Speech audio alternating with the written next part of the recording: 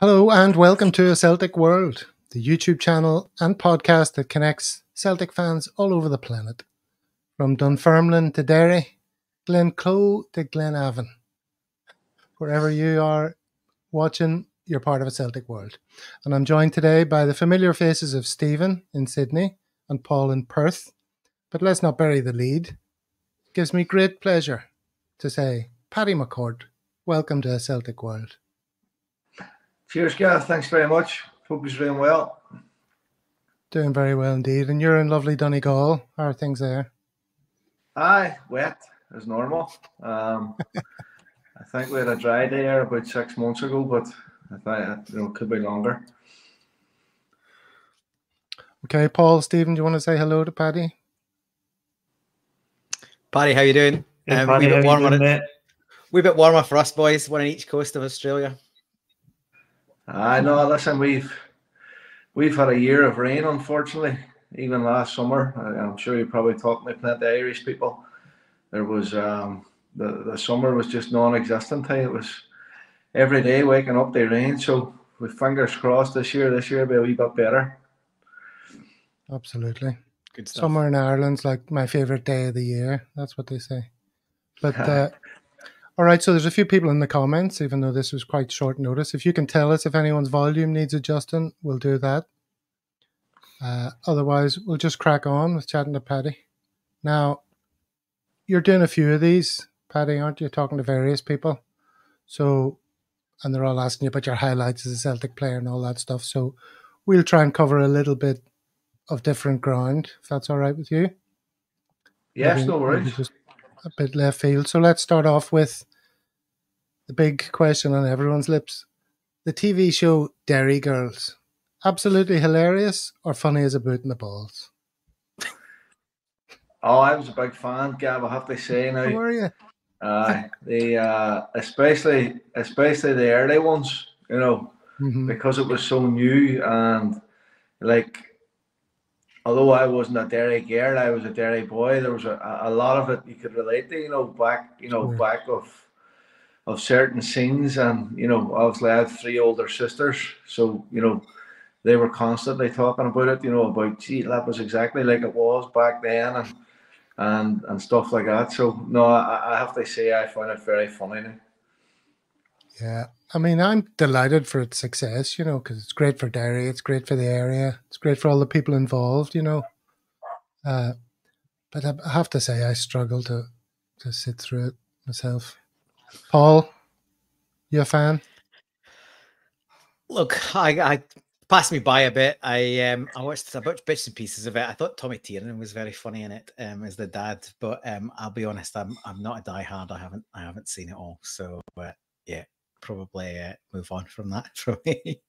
Well, loads of people love it, and they're always saying to me, like I'm from Belfast, Paddy, and they're always saying, "Oh, there he goes. that's that's your part of the world, isn't it? Oh, it's brilliant, isn't it?" Uh, it's all right. Well, do you know, I'll, I'll tell you what was funny. Whatever way, you know, the, the girl done it, Lisa McGee, and the, and the characters that she put onto the show, if you were speaking the most girls that grew up around that time, they would nearly say, I had a friend like her, and I had, a, you know, it was incredible how she characterized the, you know, the characters in it because, you know, it, it, it did hit home with a lot of girls that grew up around them times, you know, and it was amazing how many people that could actually reference one of their own friends that was just like one of the characters in the show.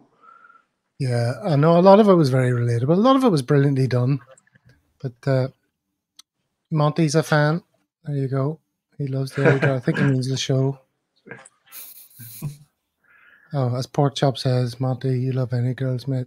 Very good. No, it was Okay. listen. I think regardless of how any of us four thought of it, you know, it was a it it went it went massive, and you know all the people involved in it has went on to have you know great success. A lot of them went on to have all our good roles in our shows. So you know, I don't think anyone can argue how well the show done. Massive success worldwide. Put Derry on the map for a lot of people. So, Aye, it did, all eh? right. Well, that, that's good. All right. So, Paul, you wanted to jump in with a quick question that brings us more up to the modern day. Yeah, Paddy, just thought I'd um, a bit remiss if two Scottish guys and two guys from the North Island we don't touch on the match last night. Um, us down in Australia probably didn't get a great chance to see it, but a uh, little bit of a shock um, that Scotland getting beat. I just wondered what your thoughts were on, on the game itself and, and maybe more broadly on Scotland's chances at the Euros. Uh, look, if you if you look on how you know, I know Scotland have a one on seven now, isn't it? it was last night yeah, seven? Poor run. But yeah, poor run. You know, the, their their form over the past two years has been very good. You know, maybe two and a half. Um, qualified for the Euros quite comfortably, I thought. You know, in a decent group, and I think Northern Ireland's form's been quite poor. You know, since Michael's back now, twelve months. Um, it's a young squad. He, he's probably still finding out about it. But the one thing Michael's excellent at, you know, and I've worked under him, is setting up a team to be hard to beat.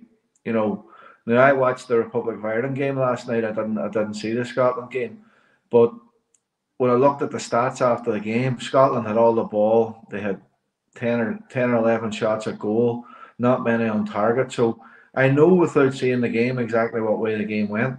You know, Michael would have played a 3 5 1 1, you know, difficult beat, um, solid. And, you know, Scotland probably found it hard to break them down. Now, in the Euros, I think that's going to be different because they're probably going to be underdogs in most games, you know, certainly if they manage to get out of the group. So they'll be coming up against a different test. But I don't think Scotland playing against you know a, a, low block way, you know, plenty of bodies in the middle of the pitch is going to be to their strengths. But listen, if they can get a if they can get a, a full squad available for the Euros and all their all their top players hitting a bit of form at the right time, I don't see how they, you know, can't go and be successful there. They think they're going, to win it. No, I don't think they're going to win it. Definitely not because I just think the other teams in Europe are just too strong at the minute. But you know, they could go and cause an upset and definitely have a positive turn. That's just about yeah. Look, that's just where I am. Even yeah, I'm the same. I didn't see the game. It was on at silly o'clock for for us down here, but um, that's what it sounds like. It sounds like the you know Scotland are the majority, but no cutting edge. Which we're blessed with tons of midfielders and fullbacks, but we're probably a bit ropey up top and and centre back maybe. So, um, fingers crossed we can pull it all together. And as you say, get players back for for the Euros because obviously we're missing a few key players. No, I, I, agree. I agree certainly with the you know the centre forward situation. Um, I'm not sure if the lad Che Adams was available. He might have missed the squad, but you know um, the other option seems to be the lad Lyndon Dykes, who you know has done has done quite well for Scotland in certain games. But if you're um, you know if you're wanting to go to a, a major tournament like that and and do well, then you know in my opinion, you would need to have a, a top top centre forward, or at least one that's you know playing in the top league week in week out and performing well and scoring goals. Now, unfortunately for for Dykes, he's, he's gone down to, to QPR, and I don't think it's it's a club that's been going quite well for a long time. So maybe his forms dipped at club level because of that. But you know, I certainly agree in terms of the, the sort of attacking areas that you know we probably need a wee bit more to to be going into a tournament thinking you could you could actually win it. Yeah, well, fingers crossed seven, for Scotland. Yeah, Dykes played 70 minutes and Adams came on and Shankland played, I think, 10, 12 minutes. So Shankland's probably the best of the lot in terms of form, but we'll we'll see how we roll up when it comes to the tournament. Well, definitely, you know, as I say, you can't you can't argue with his forms this this season. I think he's 25, 26 goals for Hearts, but you know, Weller, Weller, Steve Clarke sees him as number nine. That time will tell. Okay. Uh, I was going to say fingers crossed for Scotland and fingers crossed that my internet connection remains because just in time for this, Paddy, apparently some people have been stealing cables from the ground near my house and the whole area has no internet. So I'm on my phone hotspot. And you thought you get out of Belfast too? exactly. It wasn't me. It wasn't me. Uh, but uh, if I disappear, if there's problems, let me know. I might have to follow my sword, in which case Stephen will take over. But Stephen, you've got first question you want to put to uh, Paddy about his career. Yeah, yeah, Paddy. Obviously, you've uh, you've played in quite a number of leagues down through the years. You've played in the SPL, SPFL, you played in the League of Ireland, you played in the Northern Irish League, as well as the Championship League One and Two in England. The first part of my question is how do you think the SPL or the SPFL stacks up against the two Irish leagues in terms of standard, particularly outside of Celtic and Rangers? And do you think the standard over there is improving?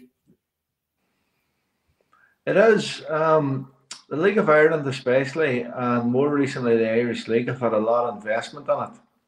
Um, so the top teams are are getting, you know, a lot better. Um, players are players are staying in the league longer because you know the finances are much better than maybe 10 years ago where if you wanted they they you know earn a decent amount of money without being in the Premier League or the Championship in England, then a lot of players would have chose the, the SPFL route. You know, they, they they they maybe get a better wage, but you know, certainly the likes of Shamrock Rovers and even Derry City to a certain degree at the minute can, you know, can offer good wages, which is seeing a better caliber of player coming to the league firstly, and then also staying in it. So, look, outside of Celtic and Rangers, if you look at the, the games in Europe recently, like Motherwell, Motherwell were knocked out by Sligo. Was it not last year, the year before, over two legs? Yep. yeah, they were. We, we know disrespect to Sligo. Sligo aren't the top team in the League of Ireland. You know, they're mm. predominantly around the bottom five recently.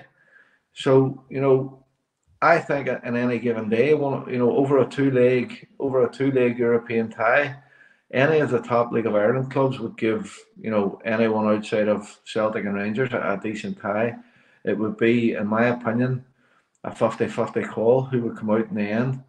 Um, Irish League, uh, the Irish League clubs have also spent a lot of money. You have Larne, who've a big investor in Kenny Bruce, um, Linfield, Glentoran, um, Coleraine have a recent investment from America and you've also got Crusaders that have you know been fairly successful over a long period of time and had a couple of good a couple of good um, stunts in Europe. The one who who I mentioned last, who doesn't seem to have any big investment and keeps punching above their weight, is Cliftonville. You know, again, they're sitting in the top three. So, you know, they're doing a fantastic job, Jim Magilton and Jared Little there, because they don't, and I know this for a fact, pay the same wages as the likes of the Larne, Linfield, and Glentoran, not even anywhere near it. But again, any of them clubs recently who've invested heavily, if they were to draw most of the SPFL clubs in a, in a European tie, I think it'll be very close over the two legs. And then being involved in the being involved in the youth development over there now, do you think Celtic are active enough in that space? Obviously, we've got Liam Scales playing in the first team just now. Do you think we could be doing more I think there's more um, undiscovered gems in, in, in, both the Irish leagues. There's certainly talent in Ireland. Um, since Brexit has come in, there's a lot of there's a lot more interest here. You know, from the UK clubs, especially. So I think that's made it harder for Celtic in terms of trying to get you know the real the real best underage ones because if you look recently, Chelsea are, back looking here. Liverpool have taken a couple. Uh, Man United, in fairness, have always you know had a high interest in in Ireland, but you know that makes it difficult for Celtic because when these big clubs call and you know they're willing to really put their hand in their pocket for young players, you know it's hard to it's hard to compete with. Um, I know Celtic have a good scouting system here. They have Matt Bradley and another fella, uh, Paddy Crowley, who you know that they, they work hard. You see them at matches constantly, and all they can do really is flag the players up, you know, and and and, and say, look, this, is one I think we should be targeting. The problem you have then is FIFA have brought in new rules that players can only visit two clubs per calendar year. So if you're if you're not one of them two clubs, so if you're competing with a Man United and a Chelsea or a Liverpool Man United, and the boy choose chooses to visit them two clubs, it, it's very difficult. They, they they try and get a player to commit to sign if you if he can't even get him on a trial. So it's not as easy as what people think. That's how I'll sum it up. And you have a brother, Leroy, who's been very successful scout for Brighton. That right, Paddy? That's right, yeah. My brother uh, Leroy's worked for Brighton for eight years, so he's he's been able to identify a lot of talent, and you know he's been very successful with the players he sent across. Um, again, you know, like Matt Bradley, works very hard up and down the country, identifying the, the best talents. And I think in Leroy's case, you know, he, he was helped a lot by how well Brighton have improved over the last sort of four or five years as a club, you know, establishing themselves as a Premier League club.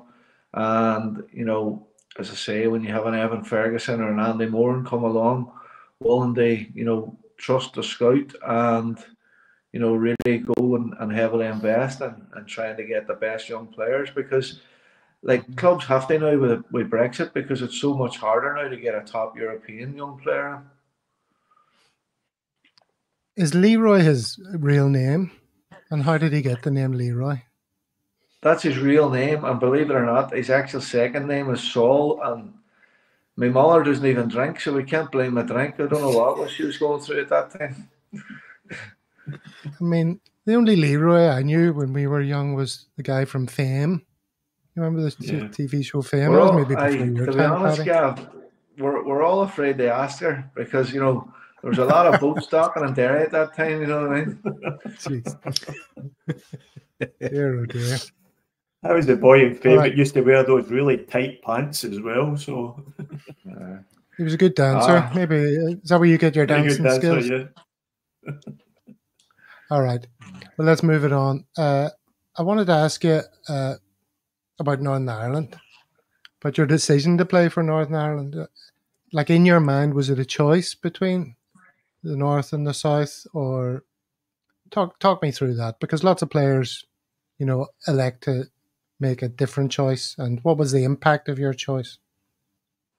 Um, well, I I was playing for Rochdale at the time, and my first call up the the Northern Ireland squad was it was a like a a challenge match that was being played at Macclesfield, and Sammy McIlroy was the manager and I had just started to break through the sort of Rochdale first team, and I got a call up to that match, and it was like a mixture of under 18s to under 21s and a few sort of first team players that were playing around the northwest of England at the time.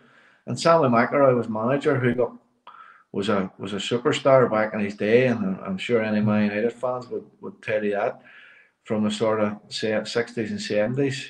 Um, now I was a bit starstruck, you know, and, and I went on to have a really good game. And, and since that game, Sammy McIlroy made a real interest in, in, in, myself and you know would always keep in touch and would come along to the games at Rochdale, would always stay behind for a chat after. And then I started to make the a couple of 21 squads and then he brought me into a few first team squads. Now I had only played a friendly or two up until then. And then Republic of Ireland made their interest known to come under the 21s. But at that stage, I, I, had real, I had a real sort of relationship with Sammy McIlroy, and as I say, I was getting under a few first team squads. I had made my debut, and I seen it as a sort of backward step for my career. They they jumped from first team back to 21, so I ended up I, uh, I stuck with Northern Ireland probably because of Sammy McIlroy more than anything, and look, I had no regrets. I, I really enjoyed playing for Northern Ireland then throughout my career. Yeah. Sammy McIlroy was one of the first footballers I became aware of as a kid, you know. He was brilliant, as you say. Did you get a lot of abuse though for, for from people for choosing Northern Ireland? I never got any abuse. I have to say that, you know, right right through my career. Um, we had the we had the incident where myself, Neil Lennon, and Niall McGinn was sent bullets in the post after mm. after a Rangers game around New Year one time, but there was never anything to suggest that that came from Northern Ireland fans. You know, people. I think the press try to. I think the press try to sort of portray it like that because, you know, remember it happened to, to Lenny before the time he was to be named captain, but there was never any evidence to suggest it was, and nor did I ever feel that I wasn't wanted at Northern Ireland, or nor did anyone ever tell me. So, you know, I have to admit and I have to say this, I never ever had any grief, you know, from Northern Ireland fan. Maybe Northern Ireland supporting Rangers fans, you know, that, that's yeah. different. But certainly not for turning up and playing for Northern Ireland. Because like Windsor Park, you know, to me, I've, I think I was only ever there once for a Northern Ireland game, and uh, you know, I, I, felt nervous going in there, you know, because it's Windsor Park, and didn't feel like home. And uh, well, listen, I was, but, I, but I think Gav, you'll be the first to admit that's probably a consequence in the era that you grew up. You know. Yeah, well, I hope know, so. I hope it's very different these days. Uh, you know, and and again, a lot of the fear you had was a fear of the unknown because you wouldn't have been across that part of the city. Let's be honest. You know, mm. only only football would have take, taken you over there. Now, when I was playing, like we, my family used to run a bus up, maybe thirty people on it never any incidents. You know, tickets were all sorted. End of the game, back on the bus and down the road. But look, there was there was certainly in the the sort of eighties and, and early nineties, you know, this this sort of feeling that you know, uh, you know, you, you don't go to Windsor Park, you don't go to watch a Linfield game, you wouldn't go to watch an Northern Ireland game, but you know, I think I think them days have long improved since then. I hope so, because we were schoolboys. Like I was there with my brother, and uh, we were like in this big crowd fans.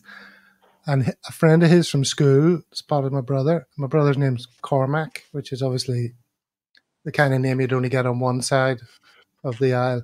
And this fellow starts shouting, Cormac, Cormac. and everyone's looking around going, Cormac? Cormac? So so we started doing the same, going, Where is this Cormac?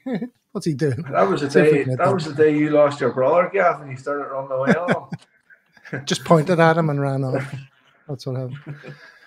So, uh, well, I'm glad. I, am sure things have changed a lot since then. And uh, has it has it been a while, Gav, since you were back, or have you been over there? well, I, I, haven't lived there since I was 18, so you know uh, it was a long time ago. And uh, yeah, I haven't been back to. Uh, uh, huh? I said you said it was a long time ago. I said clearly yeah.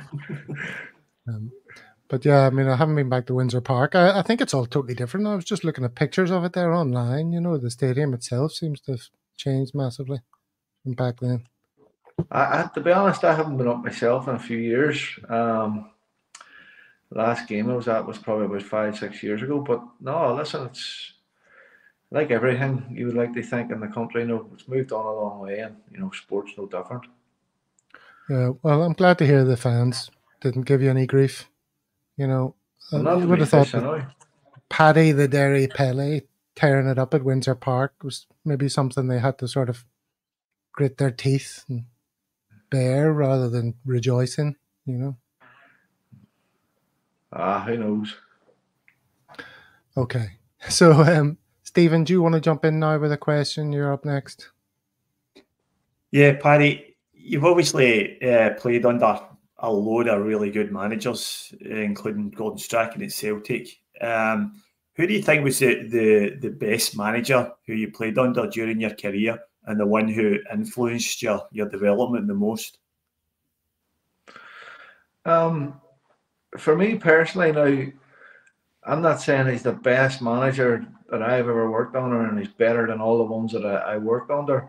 For me personally, I found that the best football I played under was, was Stephen Kenny, who has most recently been the Republic of Ireland manager. Um, Stephen was was great for you know giving players confidence and you know making them feel that you know they're a good player. And and, and me and my personality I, I really took to that style of management and I found you know the years playing under him at Derry City was the years where I felt that I was, you know, playing my best football and was going on the field, you know, most confident and and I fact look the fact that I was younger too, working under him helped. Um, because then you know you're a bit older, you're playing under. I, I, I didn't play under Gordon that often, being honest. I, that was my first year. I had spent most of that in the reserves. Then Tony Mowbray came in for a short period. Uh, the team obviously didn't have a, a, great uh, eight nine months under him, and then the last three and a half years was was under Neil Lennon, which I had my best time at Celtic. Now, Lenny was completely different to Stephen. You know, Lenny was you know a bit old school and you know, you had to be a man and you had to stand up. And if he saw to say, he, you know, you were getting it. Like so, you had to grow up quite quickly playing under Lenny. You know, even though I was only still 24, 25 at the time, but just different managers of different styles. People say this manager's a great manager and this manager's a bad manager. To be honest, I think a lot of it depends on depends on the, the player's personality. Certain managers suit certain players and and other ones don't. And throughout my career, I've seen that happen with so many players where they had a, a personality clash with a manager or didn't like his style, moved on to another one and and and thrived under him. And you know, it's just personalities, you know, and, and I think that's a big thing in life in general. You know, even in, in everyday work, if a boss doesn't get on with one of his employees, it's very hard to they bite the bullet and get on with it. You know, sometimes you're better just, you know, hand on your resignation and moving on somewhere else because not a lot of times does it ever fix itself. And football's no different, players and managers. Stephen Kenny wrote you a letter, didn't he? Once to to sort of try and give you his best advice for how you can get on in your career. Tell us about that. He did. It was it was when I was younger. I was about twenty one. I'd just signed for Derry, and uh, and truth be told, Gav, I was running about a, a bit. You know, I hadn't been back living in Derry for about four or five years, so I was maybe finishing the match. Play Friday nights in Ireland, DC. So I was maybe finishing the match on a Friday night, going out on a Friday night, maybe going out on a Saturday night, and then you know we trained on a Sunday. And I think Stephen was either getting wind of it from me, or he was certainly getting told, you know, from people that you know, Jesus, Paddy's been out about there, blah, blah, blah. And instead of pulling me in and reading me the riot act, he, he wrote me like a, a, three or four page letter about, you know, if you could, um, you know, make small changes to your game and your lifestyle and and whatever else, that, you know, I believe you could be, you know, go on to be this player and could play at this level. And, you know, I think reading it off a page, you know, it, it, it it certainly made me it certainly made me think and, and hit home and you know that coincided with my wife getting pregnant, my now wife, which was girlfriend at the time, getting pregnant, and we had our first child. So the letter mixed in with that, you know, certainly made me take stock of, you know, what I was doing away from the pitch. And, you know, thankfully over the next couple of years I was able to get the head down and then earn the move to Celtic again. Fantastic. yes. The back of that as well, Paddy. What, what, what's your opinion of Brendan Rodgers as a manager? Because his opinion at the moment is probably quite divided among the Celtic support. Um, do you do you do you think Brendan Rodgers is a truly elite manager, like what like a lot of Celtic fans believe he is? Um, I think I think his first spell in charge, you know, apart from apart from how he left, you know, which left a sour taste in a lot of supporters' mouth. I think the quality of football was very good, and obviously the amount of titles that we won were good. Now, there was a few shocker European results in there, you know, which could be pointed towards that, you know, Brendan maybe believed in the players too much and didn't want to change his style going on against PSG or Barcelona. Look, some people would commend that. Some people would say it's a bit naive. Now, the second spell, being honest, so far has been a wee bit underwhelming in terms of performance levels throughout the season. I think we're fortunate that we're you know still in the in the title race, and I still think we're we're fortunate that if we put out our best eleven, I still think it's comfortably the best eleven in the division, and and hopefully between now and then, I'm not sure how Callum is and and Hatate in terms of how long they're going to be out for, but certainly if we can get them two back um, between now and the end of the season for most of the games. I don't see no reason why we can't go on and win the league, but I'm sure there will be, you know, big meetings at the end of the year of who's good enough in this squad and, and who do we let go because I don't think Brendan is the type of manager who's going to carry a lot of players that he doesn't feel is good enough. You know, he's came back to the club, in my opinion, with assurances that there's going to be finances made available to sign quality players. So I would assume that would be the case in the summer because you know if we look at January's window, it was again underwhelming with the, the, the business that we've done. Uh, underwhelming is the key word. Uh, can I just check with you, Paddy? Did you say we've got you till 20 past? Just need to manage our time here. I what time's it now?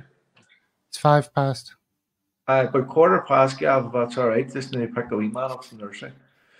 Okay, 10 more minutes. Well, Paul has been very patient. I think we've got to give him a chance to jump in. Paul, do you want to do your little segment? We'll do, now, yeah, let's do a little fun segment. So, Paddy, I'm just a bit, this is a bit, this is a bit silly, but I thought I'd do this. This is, um, you, you're probably just maybe just about old enough to remember Shoot magazine and Match magazine. Do you remember those uh, from from your childhood? I do, surely. I. Yeah, so they used used to these little, little so Paul McStay was my hero growing up. I don't know if if he was if he was one of your favorites, but they used to do these kind of things, these little kind of quick questions. So I'm not going to pull too many straight off of this, but I just want to do a couple of questions in that kind of style. So I'll do a couple football related and a couple not. So uh, we'll start with just quick fire, just whatever comes into your head. We're looking for um, best Celtic player you played with. Best Celtic I played, sorry, best Celtic player I played with. Um, probably not the most talented, but certainly the best would be Scott Brown in terms of what he brought to the dressing room, what he brought the training every day, um, what he brought as a person. You know, I'm not sure if any have ever met him or, or spoke to people who know him, but honestly, one of the nicest person people you'll ever meet in your life would would do anything for anybody. Um, and then look crosses a white line and, and turns onto a warrior that you know would would step on his own granny's throat to, to get three points in a game. So had an unbelievable balance of you know they they be good fun, be a good person, and then as soon as he stepped over the white line, then he knew that he was going to war and you know what it took and what it meant to play for the football club and especially captain. Great stuff, yeah, Broony, obviously a club legend. Um, and then maybe your favourite Celtic player of all time that you didn't play with. Well, I did play with him once in a in a in a charity game, which is obviously Henrik Larsson. Uh, boring answer, but you know any other answer is just wrong in my opinion. Um, coming up through the the nineties, you know, watching him, and again, I was doing a podcast the other day, and I, I do feel that that generation of supporters are so lucky they they have had Henrik for so long because in this day and age, and I know he had offers to go to bigger clubs and turned them down, but with the money available now, if we ever had a player of that caliber again, it would just be too head turning, and you know we'd be lucky if we you know we had him for two or three seasons. So they have him for as long as we had and get over three hundred and was it thirty games and two hundred and sixteen goals or or something like that. So you know just a, just an incredible player and they especially have the, the career he had after such a horrific injury as well, you know, and and uh, you know, so boring answer, but you know, definitely, you know, the king of kings, Henrik Larsson. Nice to have played with him even in a bounce game, though. That's a that's a claim. It was uh, honestly, I was I was a wee bit starstruck, even just getting changed beside him in the changing room. You know, even just being in his presence because I, I'd only seen him maybe once or twice briefly before that. He, he called on the Lennox Lennoxtown one time to see Lenny for something, but he had he didn't stay around long. So to spend the evening and the and the day with him was was special, definitely. Awesome. Um, next one, probably I'll just this will probably be my last on this, but just uh, more of the kind of the, the, the questions in the magazines. Um, music, favorite band or or singer or artist or you know kind of music you into. I'm not I'm not mad into the music or bands or anything like that. What I do like I like certain songs, you know. So if I hear a song, I, I like it and and stuff like that. But you know, I'm I'm not a concert goer or anything like that. My wife, believe it or not, loves them, and, and, and I I'm not I'm not into them. So it's a topic of conversation that that's never really brought up. Um, no, I have to say, not a not a huge music fan. If well, Even though you look Uh, like a rock star in this, look at that. well, Gav's a music man, and well, we we all like a bit of music, but Gav's our main music man, and uh, you know, I'm not sure if he's got a planned tribute song at some point, but that's uh, that's maybe for a, that's maybe for a, another day. Um, that's me, Gav. I'll we'll give him a short on time. I'll, I'll sort of leave it there. Cheers, buddy. no problem. Okay, well, we've only got five minutes left. I'm not sure we've got time to get into those big questions we had, Stephen. Uh, yeah, just, maybe just, try and just get one, maybe maybe a quick one, Paddy. Um, obviously, you were a player who who loved to to get the ball at your feet and go past players uh, with a bit of dribbling, bit of skill.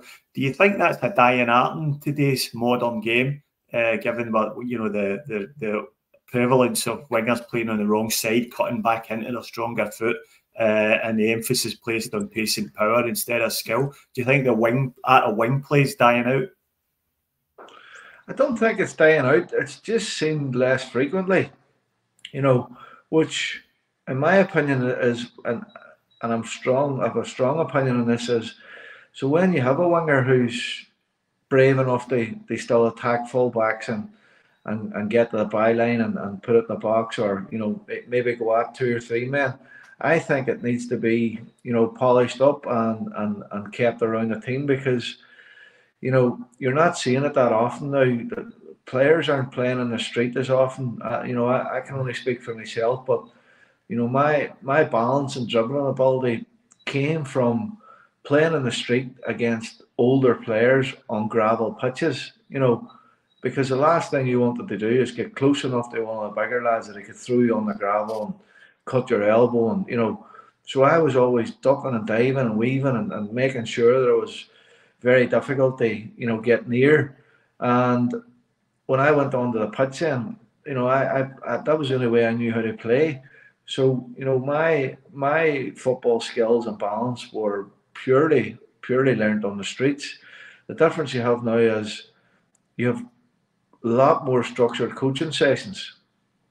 You know, so players are getting coached from eight, nine year old, told this is what you should do, told this is what you shouldn't do and every mistake's being corrected. That's not how you coach a young kid. Mm-hmm. You should let young kids make mistakes, make them make loads of mistakes, and try and let them work it out for themselves. You know, if you see them continuously doing the same thing wrong, you have a quiet word and say, look, maybe that's not working. Why don't you try this? Or in this area of the pitch, why don't you pass the ball? You might get it back higher up. Then your time to dribble. So, you know, I do agree, Stephen. Uh, you're seeing it a lot less, but I don't think it's completely dying out, and I, and I still do believe that there's room for players of that ilk within teams. Jumping in on that, it's like who you, who's the wingers you like at the minute in the modern game? Like, doesn't have to be local, like wherever. Is there is there wingers you think still still producing that kind of quality? Well, there's obviously like you've obviously got the, the top ones in the Premier League. You know, with uh, Bukayo Saka, Phil Foden, you can see their street football in Emmons. You know, they're both small in stature, but they're they're quick, they're nimble. They're very rarely in, in battles and, and sort of physical duels because they've learned over the years that that's not what they want to be in. They want to be elusive. They want to be hardy. You know, they want to be hardy mark. You have the likes of Salah, who is just, you know, based purely on pace. So look, the, the modern wingers now are, you know, probably a mixture of being very, very physically incredible in terms of their pace and power, but also have the ability to go by a man in a one-on-one situation. And you know, you can see now the the very, very top ones how sought after they are, and the money what clubs are willing to pay them. You know. Well, I think we're pretty much out of time, unfortunately, Paddy. Uh, just looking at these pictures here must bring back some good memories. Uh, congratulations uh, on your career and thanks for giving us all these wonderful times. No, listen, Gav, the whole the whole five years was a was an absolute honour, you know, to represent the club and you know, never one day of the whole five years that I take for granted and you know, going back over now in a few weeks they, they do a few uh, Q and A's and that's something I always enjoy. So, you know, looking forward to getting back over and, and seeing some of the supporters and, you know, always brings the memories back, you know, touching down in Glasgow. So be good to get across. Well, I'm sure that'll be a fantastic night. So, on behalf of everyone here, thanks a lot, Paddy, for doing this.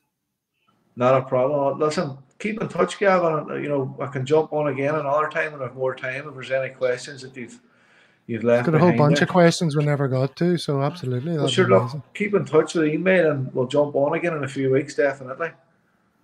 Fabulous. All right. Cheers, Paddy.